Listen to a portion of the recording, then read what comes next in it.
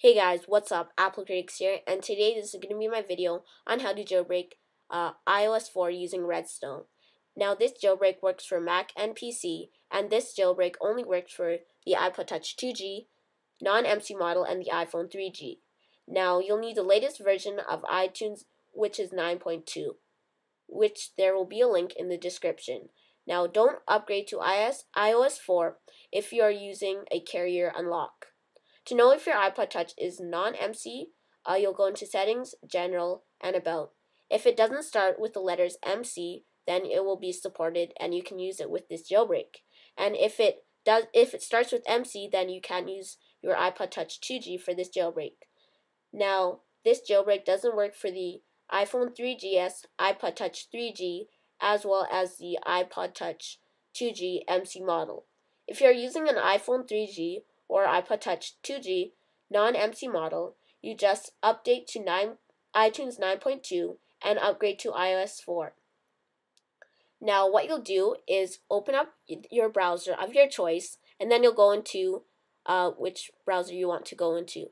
So then you'll go to www.felixbruns.de slash iPod slash firmware. After you're in that website, you'll go into the bottom of the website and then it will say iPhone 3G or iPod Touch 2G. So then you'll download the following firmware for those devices. So after you're finished doing that, you'll open up Redsn0w. So then you'll go to Browse, and then you'll browse for the iPhone 4.0 firmware. And then you'll hit Open.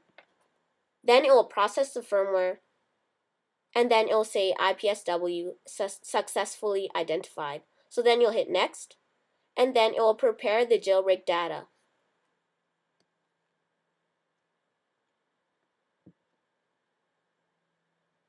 Now, uh, it'll, it'll, it will allow you to select the options of your choice. Now, if you want to jailbreak, you'll install Cydia, but I have already jailbroken using iOS 4. So, you'll uh, check Cydia, but I have already jailbroken. Now you'll see that it has three new features. It says enable multitasking, enable home screen wallpaper, and enable battery percentage. Now this doesn't uh, usually come with the iPhone 3G or iPod Touch 2G, but by using this jailbreak you can enable these features. So then if you want to enable multitasking, a home screen wallpaper, and battery percentage, uh, check these three. Now, to jailbreak, you'll install Cydia, but I've already installed it. So, a custom recovery logo, you can choose a picture for uh, when you are in recovery logo, recovery mode, and a custom boot logo will give you a logo when you boot up your iPhone or iPod Touch. Now you can hit next. So, uh, make sure your device is both off and plugged in to the computer. So then you'll hold on the power button and then wait till it says slide to power off. And then you'll wait for your device to turn off. And if it is not off, plug your device into your computer first, then hold down the power button on the edge of the, the device until slide to power off appears. So then you'll click next once your device is both off and plugged in.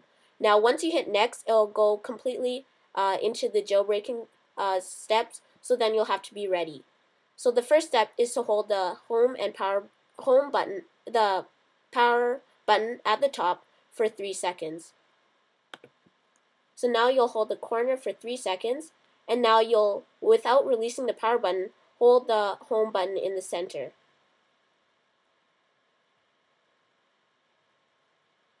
So without releasing the home button, release the power button but keep holding the home button for 25 seconds.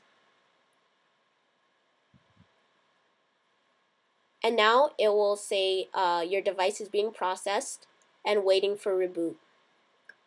Now you should see a white screen on your device. And now you should see an icon that says downloading jailbreak data. Once you see that icon, you can let go of the home button.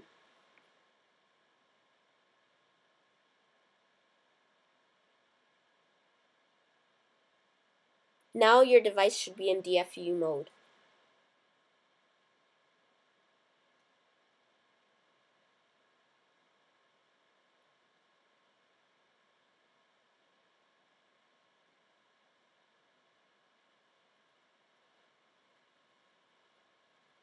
So now on the screen it will say done and then you can uh, hit the finish button right there.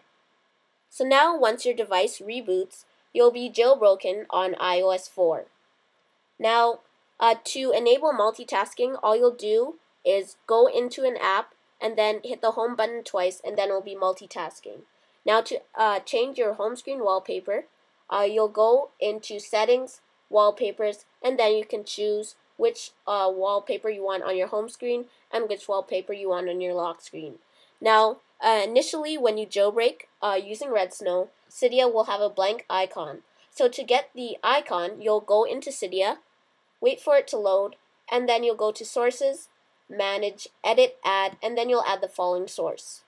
apt.saurik.com slash Cydia dash 3.7. Now, uh, that's all you have to do in order to jailbreak your iPhone or iPod Touch 2G. So thank you for watching this video. Please subscribe and rate 5 stars. Thanks for watching.